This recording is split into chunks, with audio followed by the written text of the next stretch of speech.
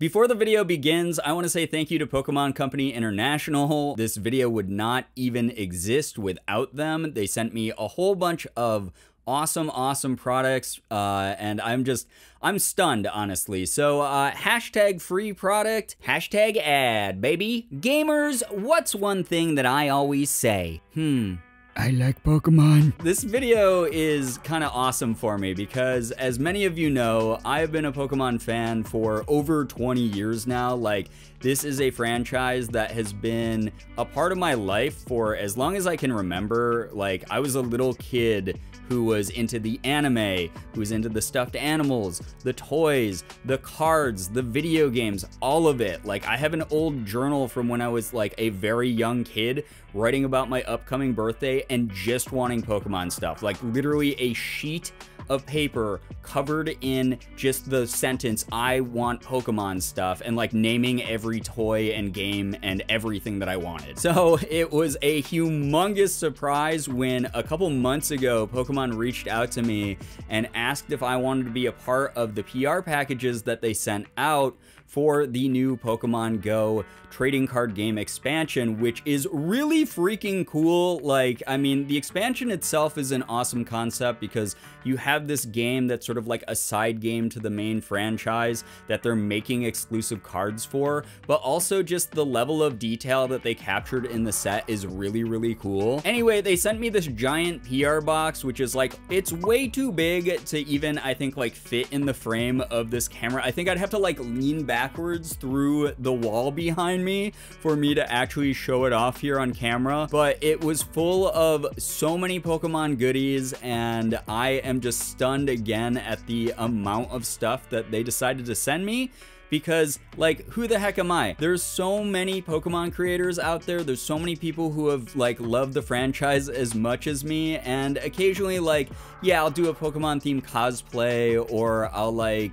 open Pokemon cards up on my Twitch channel or whatever. Just the fact that I am a huge Pokemon fan and I have a passion for it, I guess was enough. And I like I I talk about this franchise all the time. I talk about like my favorite Pokemon. We have an Eevee and a Jolteon badge for like the Twitch sub badges over on my Twitch channel. I have like the plushies in the background, some of the cards displayed. Like this is just something that permeates a lot of my life and it's a hobby and an interest of mine that I am not afraid to share. I do it all the time. So I'm so glad that that passion for this is something that made them select me to be a part of this because it's just really freaking cool. Now, Morgan and I opened a majority of the Pokemon Go card uh, products that were sent to us by Pokemon uh, during one of the live streams that I did a while ago. I got all dressed up in like e-girl, Girbeagly Pokemon trainer cosplay. So that was super, super fun. But again, just super flattered to be given these opportunities and get to show off something that's relatively new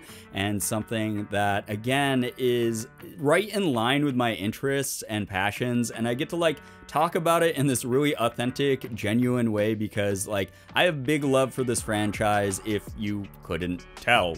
So that was really fun that I got to do that, and a lot of the people from the community hyped it up, but I was just like, oh, neat, that's awesome. I got to work with, like, one of these big companies that I've dreamt about working with for as long as I can remember. That's really, really cool. Glad I got to do that. You know, I'll add it to sort of like my portfolio of big, like, milestones and accomplishments and I'm gonna go on with my life. Lo and behold, uh, close to the end of August, I got another uh, message from the Pokemon Company basically being like, hey, we wanna send you some more stuff uh, for a reveal that we're doing on September 1st. Paired with that, there were some uh, Pokemon Scarlet and Pokemon Violet, the upcoming video game that I'm like super psyched for. There was some like teases about the lore of that that seemed like a little bit ominous, especially due to the fact that like the Pokemon social media team had been putting up all these like cryptic videos and like nature documentary style stuff and like just really interesting off the beaten path kind of like AR marketing, like augmented reality weird stuff that I really love personally. I thought it was really cool and I wasn't really sure how the upcoming PR package was going to tie into that. So it's something that I was like thrilled to hear about, and I was like, yeah, sign me up immediately. Ugh. Oh god, it's wooden, it's so heavy. God, jeez. It's actually made out of cardboard, but it's really nice. It's got like the official Pokemon Scarlet and Violet logo all over it, and it's made to look like a wooden crate, which I love because it sort of fits in with the sort of like jungle forest theme that's going on in the Paldea region, and I'm just I love it. I love all the aesthetic that like Pokemon puts into all of their marketing. It's just their packaging is awesome. Again, those of you who follow me on Twitter and Twitch, you already got a sneak peek of a lot of this because I showed it off there already. But uh, we have a box full of leaves. Like, look at all these leaves. I actually really like the leaves a lot because they are made out of paper or like cardboard or something like that. They are not the stereotypical like packing peanuts or those like really annoying like paper worm things that they add into some packages where like it just gets all over the place. It makes a huge mess. And then like sometimes when like the packaging stuff is those like plastic airbag things like I just feel like that's like really wasteful a lot of the time. Not to mention these are like little leaves. Like it just fits the theme. Again Pokemon marketing you're just knocking it out of the park. It looks really cool. It fits in with the theme of the game.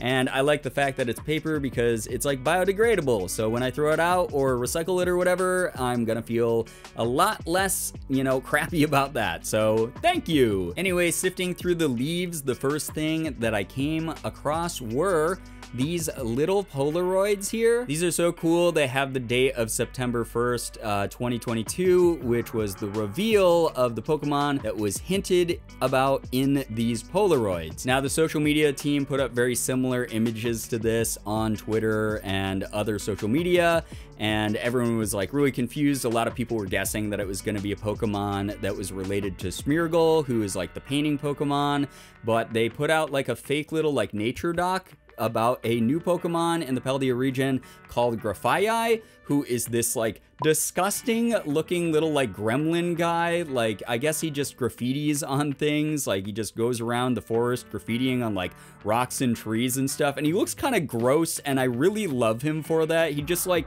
looks like a disgusting little like painty, like sticky gremlin guy. I love it. Stickers are always a big hit, so thank you to Pokemon for sending me these, especially because they have some of the meme boys on this. Like, we already saw a lot of virality around Lechonk because how could you not love this dude? He's just a little pig with the name Lechonk. Like, please. The other fan favorite being Smoliv here, whose name I believe is probably just for small olive. He is just a little small guy. And it's so funny to me that someone in a Pokemon boardroom was basically just like, hmm, we've already sold them ice cream. We've already monetized keys. What else could we monetize that's just a regular everyday object? By Jove, I've got it!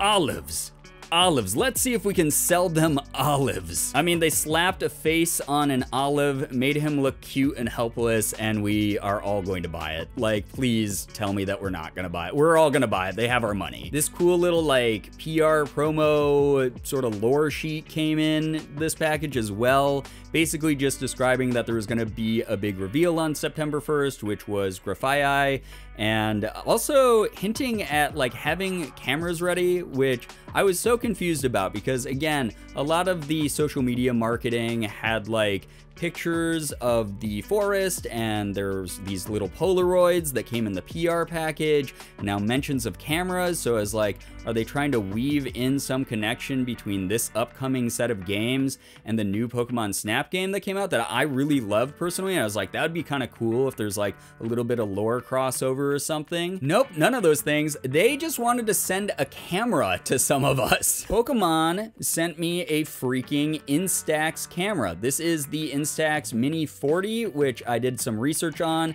So it's basically just a, you point it at things, you click the button, it prints out the photo, and then just like olden times, you just sit there and you wait for it to develop, and voila, you have a new photo.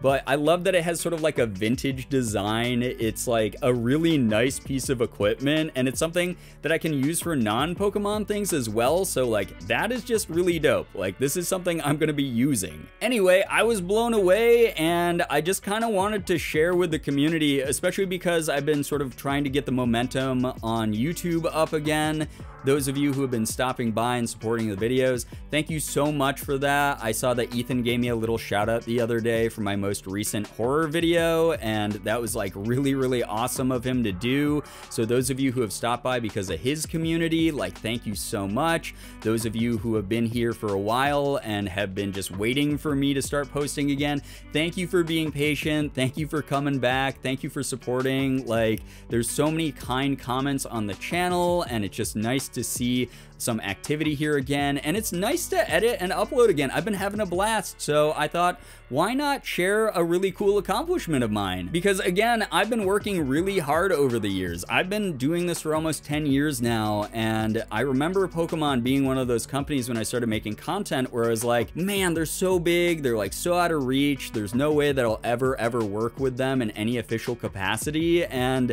now they're sending me free stuff. They sent me a freaking camera. Like, that is unreal. And I know that it sounds kind of cliche and silly to say this, especially from someone who's like already made it, but there were times that, you know, I was making videos that were getting 20 views on YouTube. You know, it was something that I put a lot of time and effort into, and I've worked my butt off. And I just want to remind people again, as cliche as this sounds, like, you know, set goals, like set like your sights for the stars. Look for those big companies you want to work with or those opportunities that you want to pursue.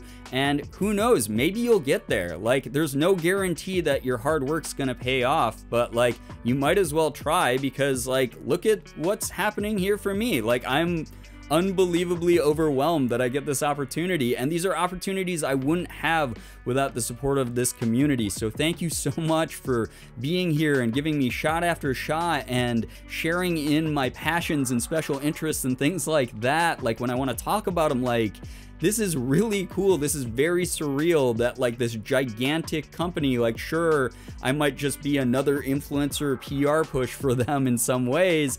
Like they are a giant multi-billion dollar company, but like their brand and what they do has meant a lot to me personally over the years. And there's someone there acknowledging that and identifying that and wanting to work together in like a really organic, like genuine way. Like nothing about this process has felt like it was like just a PR stunt. Like, yes, we both mutually get stuff out of it, but like it's been one of the easier companies that I've been able to work with, which just solidifies them as one of my favorites of all time even more. Like, this is just it's outstanding. It's fantastic. Anyway, I've rambled long enough like I always do. Uh, you guys know what to do. If you liked the video, please be sure to hit the like button, subscribe to the channel, and as always, it was great seeing ya.